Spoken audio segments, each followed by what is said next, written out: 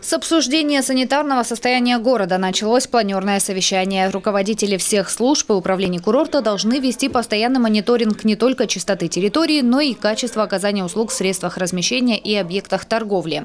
В разгар летнего сезона и в связи с проведением в Сочи разных событийных мероприятий, на которые съезжаются гости со всего мира, акцент необходимо ставить на профилактику возникновения заболеваний, разносчиками которых являются насекомые. И сейчас важно вовремя и тщательно проводить обработку помещений от личинок комара.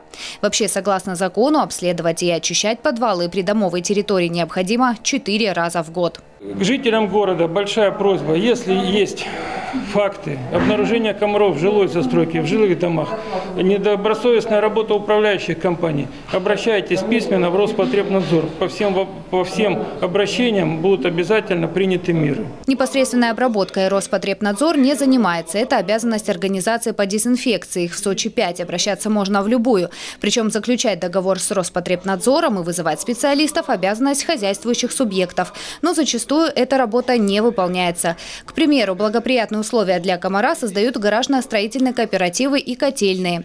Анатолий Пахомов дал распоряжение главам районов взять этот вопрос под контроль. Пусть проверяют и спрашивают с них. Это дело глав районов. В следующий раз я с вас спрошу за таких управляющих компаний.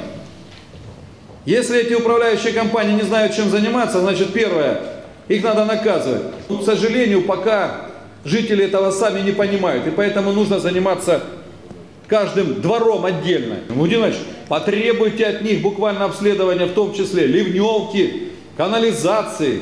Посмотрите подъезды. Помимо состояния жилых помещений, в каждом районе необходимо не забывать о благоустройстве улиц, парков и скверов, отметил градоначальник. Многие территории не оборудованы ливневками. В результате после непогоды красивые места отдыха обретают неприглядный вид. Этот вопрос должен быть решен в ближайшее время. Тема, над которой необходимо начать работу уже сейчас, это подготовка к проведению единого дня голосования 10 сентября. В этом году выборы депутатов Законодательного собрания края пройдут по обновленному избирательному законодательству законодательству. Это и система, система автоматизированного составления и ускоренного ввода протоколов об итогах голосования, отмена открепительных удостоверений и упразднение досрочного голосования, предоставление возможности проголосовать по месту фактического нахождения. Существенно изменен и краевой закон. Так количество депутатов сокращено со 100 до 70.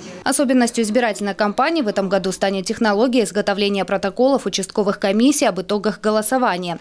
Будет использоваться машиночитаемый код, ускоренный ввод и проверка правильности данных протоколов.